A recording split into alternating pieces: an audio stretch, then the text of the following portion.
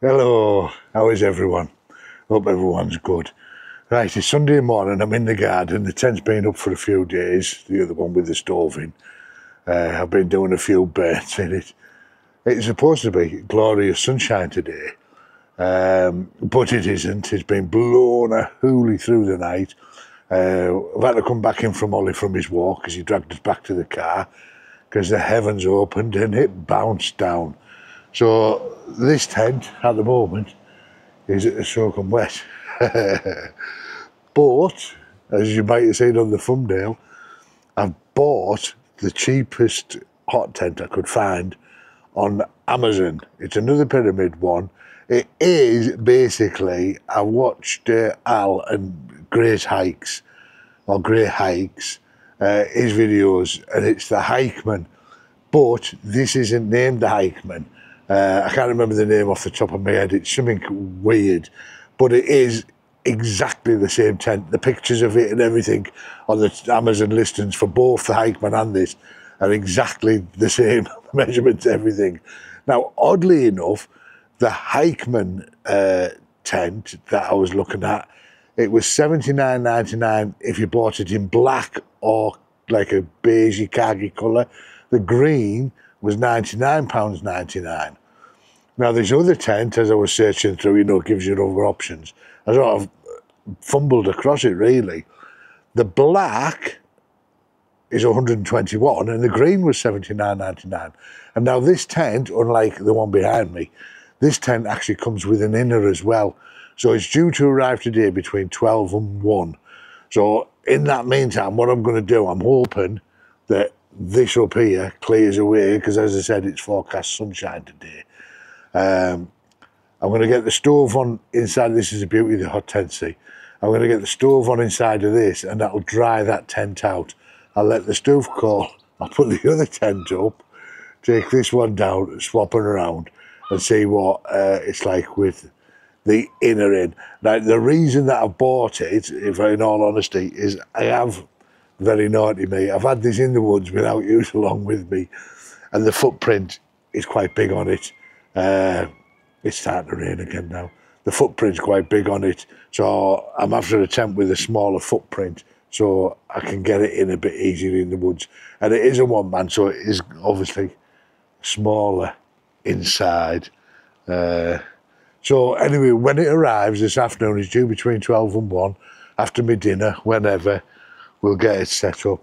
But this is holding up quite well at the moment anyway, so show me. I haven't even been out in the last few days and tightened any any of the guidelines or anything. They do want doing. As you can see, they are a bit loose. They've blown themselves a little bit loose. But yeah, so anyway, right when it gets here, I'll see you in a bit. It'll be a second for you. It'll be a good, good few hours for me. I was going to say bye for now. I'm not even going to say that. I'll see you in a bit. Now, a few hours later, and the new tent has arrived. I've put a little picture on it. It's only just stopped raining, so what I've done, I've got the uh, I've got the stove going in this. I've given it a rub down wife said I can't put the other one up there because I'm ruining the lawn as it is with this because it's sodden at the minute and it's just squelching and I'm making it very muddy. So I'm going to get this tent going to get this tent dried off and then uh, I'm gonna I'm just opening it up. I'm going to take this one down. Hey a bit close there Michael. I'm going to take this one down and put the other one off. So, but if you can see, it's burning really clean, this stove now. Uh, I mean, even when I use this wood for the first few burns, on my other one, there was a lot of smoke coming out. Admittedly, I've got the dampener opener right at the back, but there we go, burning away, lovely now. How's that? Cheers, Ben, again. Daily Outdoors. Uh, yeah, just worried a bit how close that goes to that.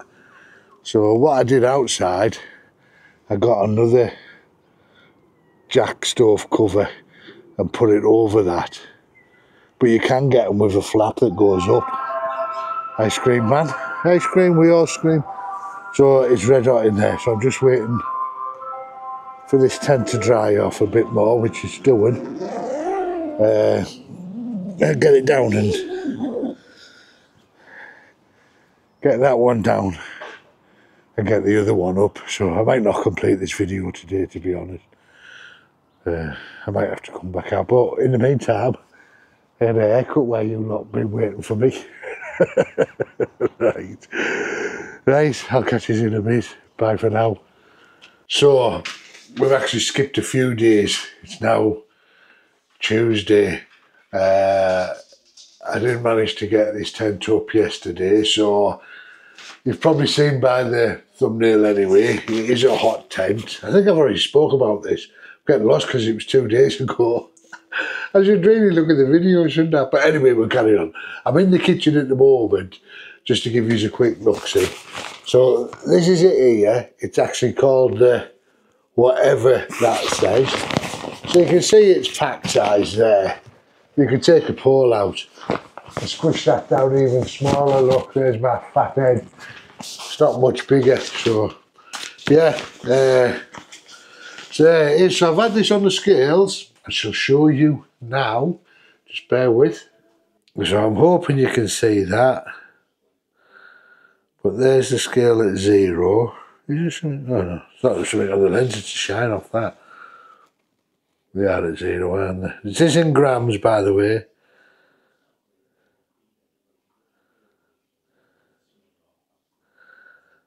So 2,400, that's got to be, hang on. Let me get it on properly.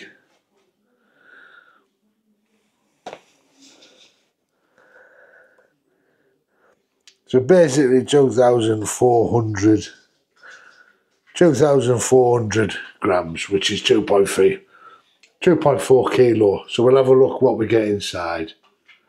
And that's with all the packaging on and everything, by the way, as well. So, and whatever's inside, so there's still, well, we'll have a look now. Right, so I've put big light on. Hopefully that might be a bit better. So it's just a, a polythene, uh, not polythene, you know, sort of plasticky bag there that it comes in. Uh, that's good that the zip goes all the way down there, like, so. I'm not obviously going to do everything in here. Oh, that's uh, at last. That's not bad, is it? It's quite a decent uh, strap, that. Normally, it's just a ribbon that ends up in the bin. But as you see there, that's a a proper strap with a click lock. I don't know what you call them, click lock things on. So obviously there's the outer of the tent. Oh, we've got the stove jack, comes with it also. There's some destructions as well. Uh, but I mean, if you're used to putting up these TP style tents, don't really need that. So this feels like the pegs in this bag here. It's always fun trying to get these open, isn't it? I was making that harder than it was. So let's have a look at the... Ah, so we've got a like a Rome fubber ball. Rome, Rome fubber ball. What's that about? A Rome, a foam. a foam rubber ball with a hole in. Now I believe that goes onto the end of the centre pole uh, to stop it causing any, dam any damage. You got to kind of be words out. So let's have a look at the pegs. Oh, you got your guy lines, guy lines in there as well.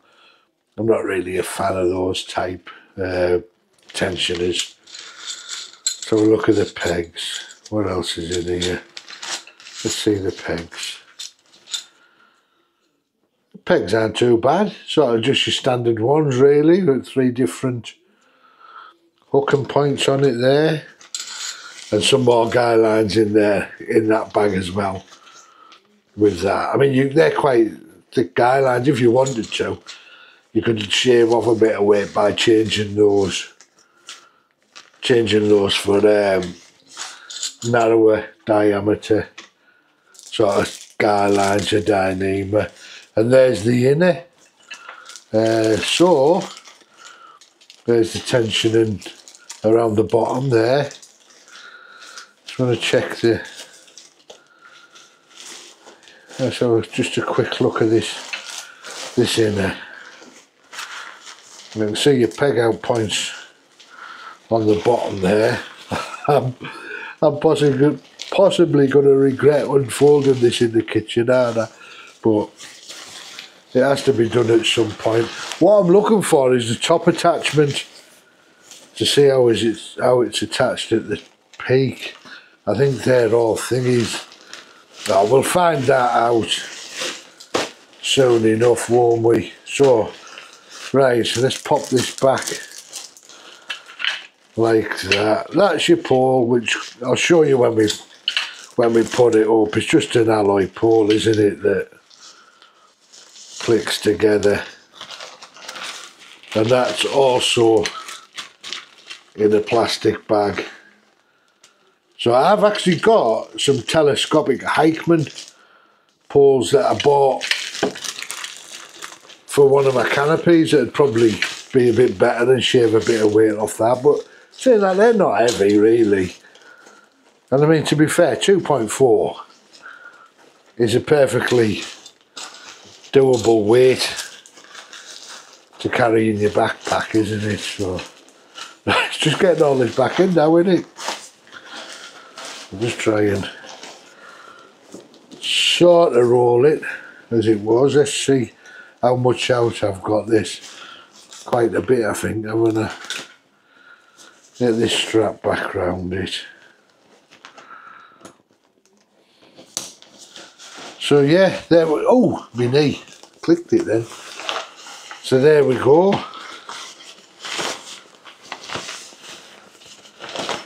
and that's why I like that zip being able to open at the bottom there. I mean normally when I've got this I'd have it all separate anyway. I'll have the port and peg out. Yeah there's still plenty of room in that. Uh, so there we go the materials what is it I've got the wrong glasses on I've got my seeing glasses on I can see it says it's a 210T polyester one person. Uh, and I believe the hydrostatic head on this is 3000 millimetres. Right. I'll put these up in the garden when I get chance and then I'll bring you back again. I've never done a video for so many days before, so I'm getting a bit lost. Right, talk to you in a bit. So I've just taken all of the packaging out of it and everything everything's still in there, the poles, the balls, everything it came with. I've just got rid of all of the plastic and everything, and that's it there. 2.288 grams, so 2.2, 2.3 kilo, just under 2.3. Oh, it's gone down 2.2. 2.287, so yeah, not a bad weight, not a bad size. That's only, they're only Diddy kitchen scales, just to give you an idea. It'll probably look big. I'm doing this on my phone. But yeah, it's not not much bigger than a pair of kitchen scales. Little ones, here, show you. There you go. So that's the first stage of it, just loosely pegged out and the pole in with the ball on. And uh, these are little catch thing for the inner. It just clicks together, I'll show you. But you've got to make sure you put that on top of the pole first. So yeah, so I'm just going to go around and tighten it all up now. And uh, then we'll see what it looks like. Eh? Right, so there it is pegged out. Uh, probably. I can't believe it. Three o'clock and it's starting to get dark already. So, uh, yeah, a lot smaller than the other one. A lot smaller, a lot lower as well there's not going to be so much headroom, but it's what I wanted. So I've got the option of a larger one and now this smaller one. Right, I'll undo things and we'll have a look inside. So it does have two doors and the tie backs on this has got two tie backs. You just sit through like a, an elasticated hole there and then you pull that toggle down. I don't think you're going to see much inside. but up the top there, that's the ball, if I can see. And that, if you can see it, is just where you attach the inner two. So the jaw zips are the same as what's on the other one. Those rubberized waterproof zips which work perfectly on the other one. And there we got the stove jack hole. Obviously you can have that open and shut, same sort of uh, toggle system on that as well. And then down to the other side, obviously, there's your second door. So, right, so I'm gonna pop the inner in. There we are. I'm gonna pop the inner in and uh, that's it. Should be all done, apart from obviously putting the stove in there. To, yeah, right. I'll see you when the inner's in. Inner's in, is in. So that's the inner in. I've opened both doors. Right, the inner doesn't actually, you just sort of peg that out wherever, so I've done a pretty bad job of it, but I can't really be bothered now. Because at first I put it in there, and obviously the stove jack's here, so that would have meant that when it was like across there, it was right next to the stove, it's going to go down there. To, uh, yeah, it's a lot smaller, but the thing that they should have done really is on this, uh, I'll open the other door, on this inner, they've made the inner rectangular, or they've supplied a rectangular, I'll show you. He says opening the wrong. They've supplied a rectangular inner, so you've got a lot of room at the back, but you've got a hell of a lot of wasted space there hell of a lot of wasted space. Right, I think what I'm going to do, I'm not going to put the chimney in, but I'm just going to put the stove in. Spin you. I'm just going to put the stove in, just to see how much room there actually is going to be in that, because uh, it's a lot smaller than I thought. So anyway, I'll get that one. Yeah, actually that won't be too bad. Got to see what sort of clearance I'm going to get off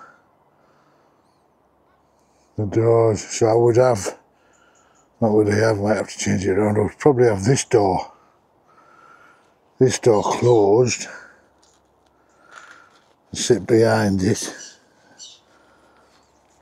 and have some sort of chair just down here. Let's see if I can. Hey, look at that one hundred. Uh, Oh, what am I doing? I'm looking for a bloody zip to zip it up. It isn't, is it? I'm just gonna just gonna pop it over its peg here. If that is tightened down.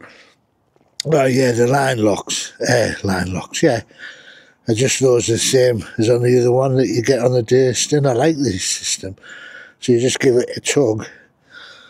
Hey missus and that's it. that's it. So let's have a look. Oh no that's that's actually better than I thought that. So yeah. So let's get a chair in. It's not it's not well it is a camping chair in it? But it's not one that I would be carrying with us on the thing so I've not put the guy ropes on still there for losing light, which uh, I might do. Right, let me get this chair in and I'll pop his back. Right. So I've got the chair in, there's not a lot of room there, but what I'm thinking about is maybe he's move the stove round somehow and I don't know. See, if I turn the stove long ways, I think it's going to be a little bit too close to there. But uh, let's have a look. Man, saying that, I'm sat in a chair, you know, that you wouldn't, you wouldn't even have in that tent. You wouldn't have that great big thing in that little tent, would you? You just have a small chair. But yeah, it'll just take a little bit of fettling to to get that right. Yeah. Right, let's get that chair out. So there's one there, one there, that's one, two, another one there, three, three, three, and I'm sure I've one on here as well. Yeah, so there's four, four guy lines to attach. Right, I'm gonna, I'm just gonna finish off here. Uh, it's getting dark now. Right, I'm probably waffling on about Terran and everything at this moment, but I'm just to do one of my injections. Injections, interjections. Uh, I've put the guy ropes on, and it actually makes it, it does pull the tent out a whole lot more. If you can see that, hopefully you can. It's almost dark now, but uh, yeah, it pulls those sides out, so I think definitely use the guy ropes on them, the guy lines, there's only four of them anyway. But I'm also going to do what uh, Al does on Gray's, Gray Hikes. He's got this tent, this is the Hikeman. This is the Hikeman just under a different brand. Um, he's got little S carabiners that he puts all his guy lands onto and uh, so you can just click them off and click them on. I think that's a brilliant idea. So, right, uh, back to me waffling on. and uh, I'll catch you. I will put the stove on on that. I'll probably bring you back just to when I've fettled the sitting, the sitting positions and everything. And I'm going to set it up inside properly so there's enough room to move around without worrying about setting myself on fire with that stove. So, right. All right, if you've liked this, give us a thumbs up. If you don't already, get subscribed, cost you nothing, get to listen to me blabbing on. So, right, until next time, cheapest hot tent could find on Amazon. That's also silver line inside. Every cloud's got a silver lining sold. Me clouds don't let me go. That's me, David Essex. Right, till next time, love you all millions. Bye for now. Mwah!